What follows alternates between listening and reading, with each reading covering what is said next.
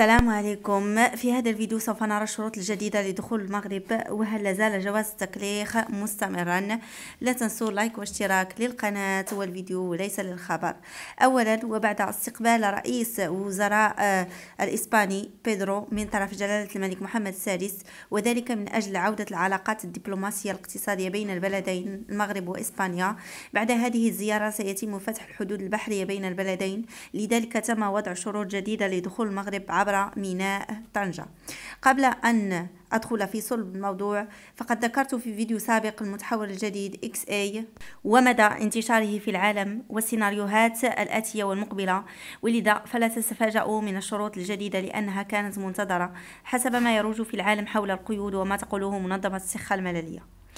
le protocole, le nouveau protocole sanitaire temporaire pour la reprise des voies maritimes les passagers doivent remplir une fiche sanitaire à télécharger en ligne avant l'embarquement يعني المسافر خصو يعمل واحد الاستمارة الصحية اللي غيتم تنزيلها عبر الانترنت قبل الصعود الى السفينة او الى الطائرة Ils doivent également être munis d'un passeport vaccinal anti-Covid-19 valide selon les exigences du pays d'origine يعني المسافر خصو يكون كيتوفر على واحد جواز التلقيح ضد كوفيد 19 صار المفعول وفقا لمتطلبات الدولة التي سيدخل إليها Sinon, il faut présenter un résultat négatif d'un test PCR de moins de 72 heures délai entre prélèvement et enregistrement.